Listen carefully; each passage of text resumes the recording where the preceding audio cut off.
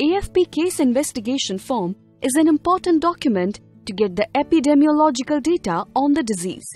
Evidence generated by this data help in development of strategies for prevention, control and eradication of the disease. In this video, you will learn about filling of CIF for acute flaccid paralysis case. Fill the CIF for all cases having sudden onset of weakness and floppiness in any part of the body in a child less than 15 years of age within 6 months of paralysis onset. Or paralysis in a person of any age in whom polio is suspected. To avoid missing of any polio case, fill the CIF for all cases having current flaccid paralysis, history of flaccid paralysis in present illness in last 6 months and borderline or ambiguous signs and symptoms. All the cases having onset of paralysis in last 6 months should be investigated using CIF. Let's now learn how to fill the form through a case study. Here is the reported case study. You can pause the video and go through it.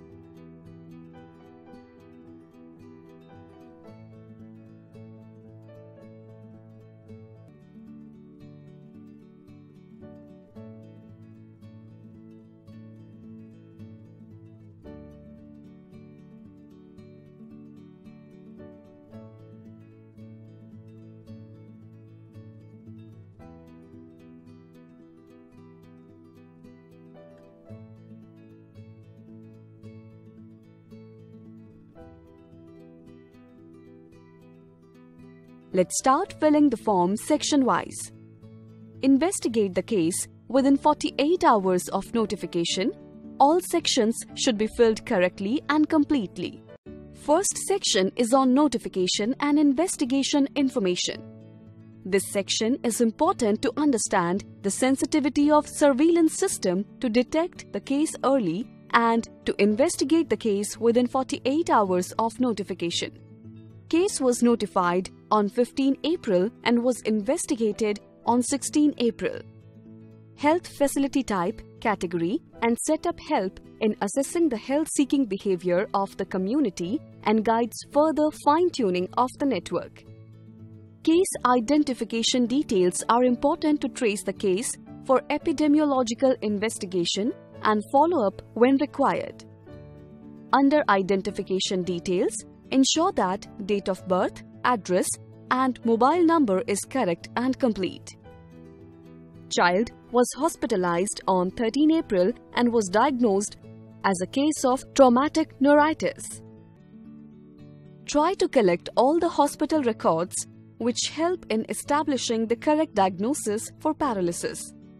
Immunization history is important to understand the level of protection that is there for polio in the child. As per immunization history, the child received 3 OPV doses through routine immunization and 3 doses through pulse polio. The last dose OPV before paralysis onset was received on 15 March. Child also has received 2 doses of FIPV. Section 5 is on the clinical symptoms. Fill the number of days from onset to maximum paralysis, type of paralysis like acute, flaccid, ascending or descending, as well as any history of injections during 30 days before paralysis onset. Date of paralysis onset in 31st March and this is most important date for all the epidemiological analysis. Under section 6, write the disease progression in 3 to 5 sentences. Also mention about relevant negative history. At the time of examination, assess the respiratory, bulbar, bladder or bowel involvements. Joint pain or swelling and gait should be assessed. Take complete travel history for all the travels made by the patient during incubation period and write the address in the CIF. On an average, the incubation period for polio is 7 to 10 days and it ranges from 4 to 35 days. The case would have acquired the infection from one of the places where he or she had stayed during the incubation period. Based on travel history, case should be cross-notified to the district where he or she might have highest probability of acquiring the infection. Detailed epidemiological field investigation must be done in the cross-notified district. Get information from caregivers about all the health facilities visited by patient after the onset of paralysis and write down their names, address and dates of visit. The help-seeking behavior information helps in identification of all the health facilities which a suspected case may have visited. This information helps in sensitization of health facilities for timely notification of suspected cases as well as reprioritization and expansion of the reporting network. Section 9 is on clinical examination. It is an important section in AFP case investigation and should be done accurately for all the notified cases. First, access the tone as normal, increased or decreased, followed by power at every joint and grade from 0 to 5. Elicit the biceps, triceps, supinator, knee, ankle and plantar reflexes. Take the mid-arm, forearm, mid-thigh and mid-calf measurements to assess any wasting due to paralysis. Also assess that any cranial nerves have been affected by the disease. Same clinical examination has to be done after 60 days of onset for inadequate AFP cases and cases with poliovirus isolation in stool.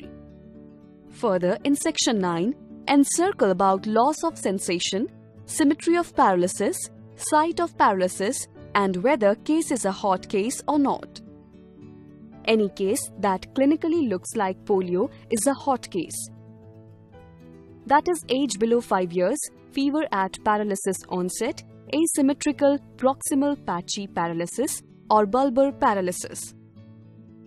Section 10. Provisional diagnosis is mandatory for all AFP cases. If the investigated case is not an AFP, then encircle the reason for the same.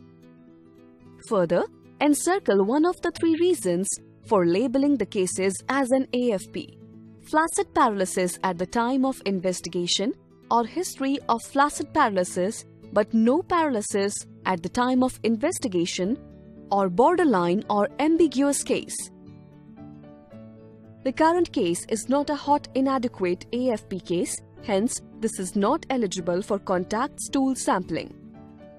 Section 12 Stool Specimen Collection Stool sample can be collected up to 60 days from the date of onset of paralysis. Encircle reason if sample could not be collected within 14 days of paralysis onset.